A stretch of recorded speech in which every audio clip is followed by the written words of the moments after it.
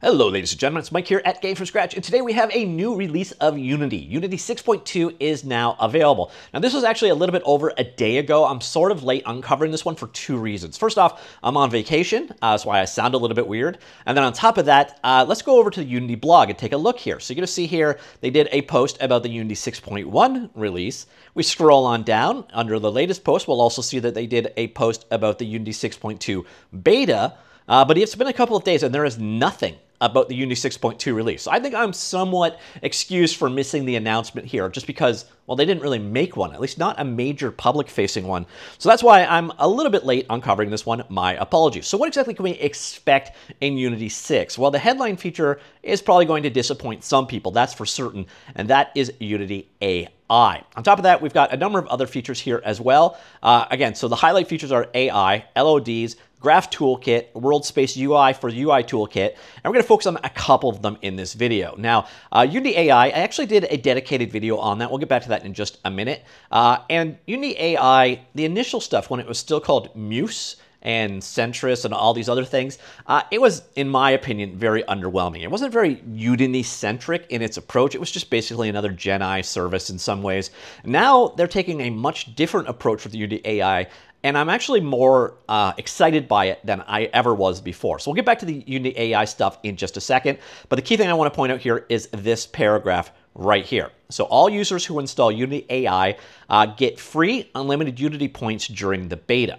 Uh, the points will expire when the Unity AI transitions to a paid model in the future. By the way, we don't know what it's going to cost, and we don't know when in the future is. Uh, in the meantime, we would love your feedback. So if you wanted to go ahead and check out Unity AI, now is the time to do it because, quite frankly, you could do it completely for free. Uh, so there's points, but you, you, basically get unlimited. You don't pay for them, which is quite nice. Uh, so if you want to check out Unity AI, now is the time. On top of that, we've got some improvements for uh, the XR stuff. Uh, so hand mesh functionality, you can now visualize hand meshes and utilize them for occlusion. Uh, dynamic refresh rates are supported, and visibility, visibility mesh occlusion uh, is now supported in URP, it looks like right there.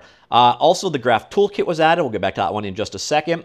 Uh, mesh LODs can be generated automatically on import to reduce iteration time. Like they said, they've got the World Space UI for UI toolkit. It's now available to render UIs directly in World Space. That's, again, mostly for uh, XR. So if you needed to do your um, your user interface in a 3D world superimposed or transposed on your world. That's what that is all about. We also have the uh, developer data framework. Um, reflects our commitment to providing developers with transparency and control over their data usage within the Unity ecosystem. Basically, this is the approvals and, and showcase so you can see what data uh, Unity are using, kind of privacy controls, that kind of stuff. And on top of that, we've got a number of diagnostics tools available as well. So that's the highlights of Unity 6.2. Now, this is considered a supported release, which means it receives the same level of support as a long-term support release uh, including bug fixes and critical platforms, but only until the next release is published. So an LTS is for a duration in time.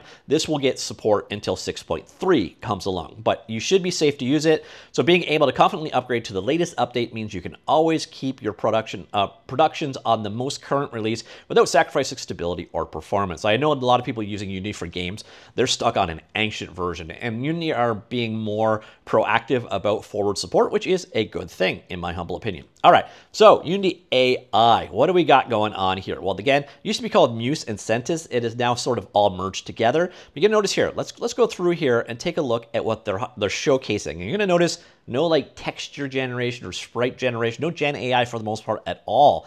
Instead, they're talking about things like uh, auditing your assets, get quick, focused help with your game objects, scripts, prefabs, and more. Just drop them into the assistant without having to spell out every detail. Uh, you can locate, modify, and organize in bulk. Uh, so you can see changing lights uh, using an AI script. So run, set the intensity of all lights with the fog light tag. And I've worked with this stuff, and it's actually really kind of cool. Uh, then we got debug console errors, so you have it explain errors out to you. Uh, you also have it for helping you learn, so you can ask questions and have it deal with you there.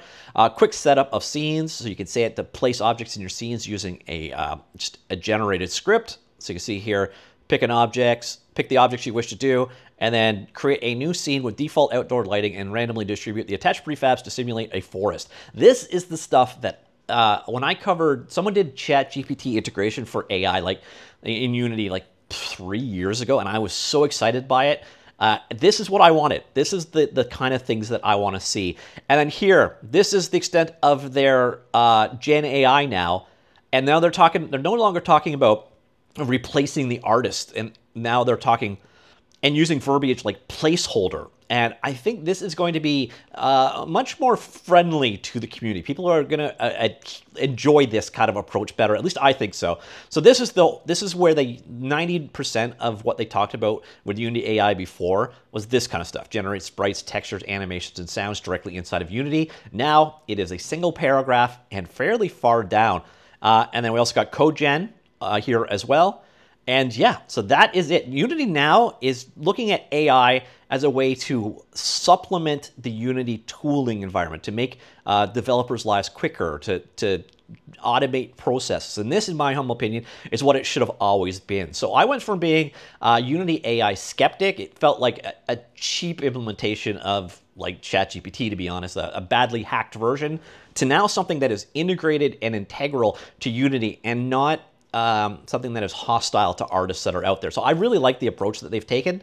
Uh, I would also love to see this not be a commercial project and just be included in like Unity Pro. This would be an awesome feature for making Pro stand out. But I'd be interested to see what the final pricing is on this. But they're they're covering they're covering the stuff that I want to see them cover, and they're focusing on it. Again, I find it very interesting that the Gen AI stuff has been moved down to like point number five, and it's be worded it as placeholder assets instead of, you know, game ready assets. And let's be honest, most of the times the stuff that it generates isn't game ready anyways, but it's perfect for placeholders. So I like the approach they've taken there. If you want to learn more, I did a hands-on with Unity AI called Unity AI, Is It Fire or a Tire Fire? Uh, which that was when uh, the Unity 6.2 beta first dropped. There might have been some small improvements since then, but it'll give you an idea of what you can expect from Unity AI. And again, I went from uh, being very, very skeptical to being somewhat optimistic on Unity AI, but I'm curious what your opinions are here as well. Uh, and then we also, again, have the Unity Graph Toolkit in this release. Now, this is for well, generating graphs. These are kind of common tools that you need to use. They use them themselves for a number of things, like the shader toolkit. Uh, so it allows you to create visual, customized graph tools. It is a powerful addition for anyone who needs to simplify complex systems, optimize production pipelines, or empower non-coders to add or edit content in a visual and intuitive way. So it is a toolkit for creating graphs, uh, and it is now available. I do believe it is flagged as I don't know that it's a release. No, it's still considered an experimental at this point in time. Uh, so that's definitely something you want to be aware of. But I do believe they are also using it for stuff internally quite a bit. So this one is probably going to come to fruition. So that is another aspect of the 6.2 release. Uh, and then again, that you have the ability to generate LODs on asset input, LODs being levels of detail, so it's different versions of your model and different resolutions. Depending on the distance from your camera, you can have a big performance optimization, or as things get close, you can show the higher detailed version. It will now automatically generate these LODs on input. Uh, details of them are available here in the documentation, but that is a Unity 6.2 feature as well. And then there are the full release notes, no summary blog, but basically all of the the documentation, etc. I will have this linked in the linked article down below if you want to go fully in depth with all of the features in Unity 6.2. Again, the marquee feature here being Unity AI, but I like the direction they're going with it. But I'm curious, what do you think? What do you think of Unity 6.2? Let me know, comments down below, and I'll talk to you all later. Goodbye.